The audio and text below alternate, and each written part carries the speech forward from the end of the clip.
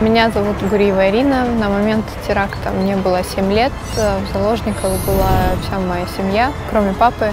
Я, моя мама, брат с сестрой и двоюродная сестра.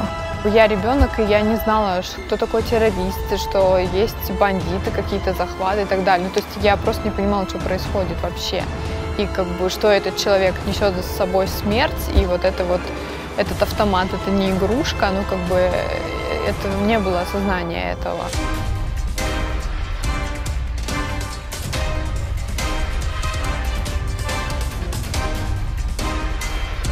Бомбы висели в корзинах баскетбольных.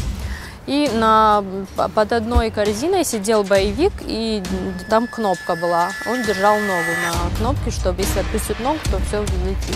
Не помню, как все получилось, но произошел взрыв с этой стороны. Я сидела там близко к нему, и взрыв еще был такой не сильно большой. И в этот момент я стала вставать как раз поближе к тете подойти. И меня ударной волной к ней. И э, в этот момент как раз там была дверь во двор в спортзале. И эту дверь выбила. И она нам кричит с братом «бегите».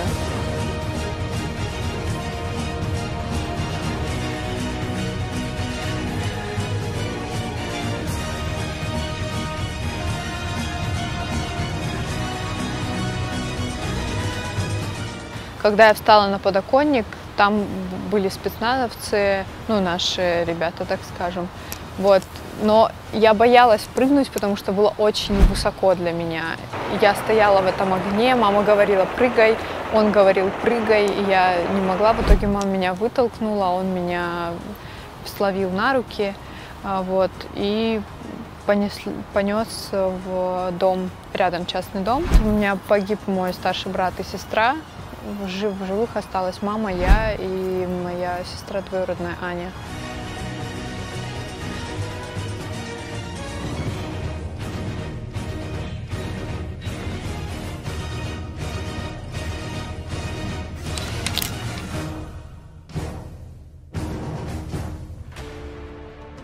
Очень долго искала его. Мы общаемся со спецназом, с ребятами, которые нас спасали.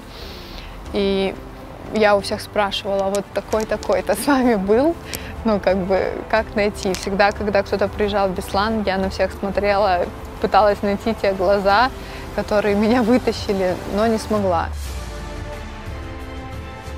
Что-то внутри, я не знаю, как переключилось или включилось. Но, в общем, меня как будто ударило током. Я просто внутренне почувствовала, что это он, что это тот человек, который меня спас. К сожалению, он погиб. Он умер э, в Дагестане, что ли, при какой-то операции. Он был сильно ранен, и он умер.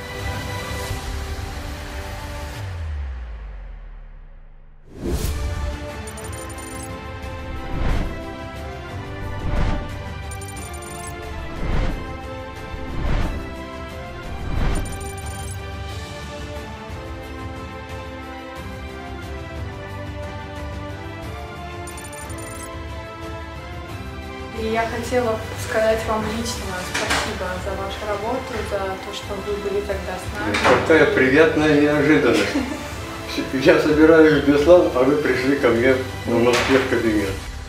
Есть очень много молодых людей, которые выбрали себе профессию Родину защищать в различных структурах, в том числе и спецподразделениях. И порой они совершают, как я уже сказал, жертвенные э, поступки ради спасения других. И они достойны, чтобы их имена мы помнили. Ведь в Беслане погибли Разумовский, Верьков, Кузнецов, Ильин, Туркин, Лачков. Они должны быть на слуху. Мы не вправе их забывать.